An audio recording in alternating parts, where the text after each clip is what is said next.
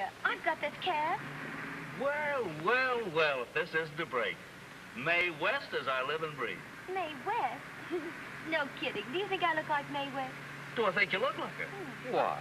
Surely you're not going to tell me that you're not. Oh, no. I'm just a poor little working girl. A working girl? Mhm. What? Who do you, I mean, where do you work? Oh, I work for Colonel Trivers the Trivers Chicken Livers. Not my old friend, the Little Colonel, the sponsor of the Trivers Livers radio broadcast. Why, I couldn't go to sleep at night if I didn't tune into one of his programs. That's what I say. They put me to sleep, too.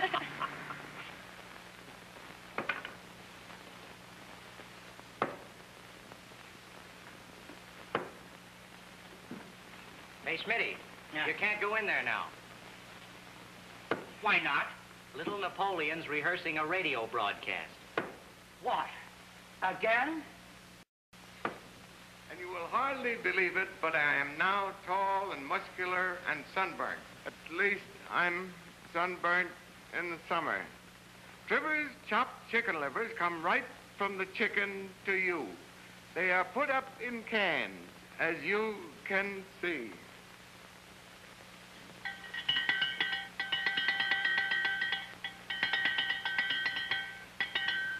Because it's easier to keep track of them that way. That for a broadcast, Mr. Mattiacci? That's no good. No? Everybody's got a liver. That's no news. This is how she should go.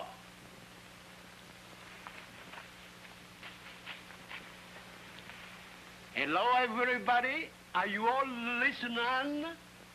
You all know what he is, uh, the liver. You all got a liver, huh? Well, uh, your liver, she's uh, no good. Trevor's liver, she's uh, good. Se avete vostri figli e la vostra famiglia, usate Trevor's livers. That's how she should go.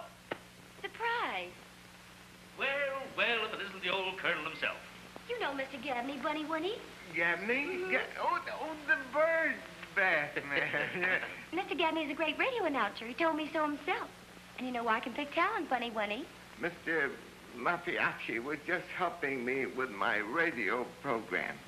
That's what's wrong with your programs, Colonel Trivers. What you need is in your livers. You mean the old pepper? You're a very lucky man, Colonel. A very lucky man. Why, your troubles are over. When I handle your liver, I'll bring home the bacon.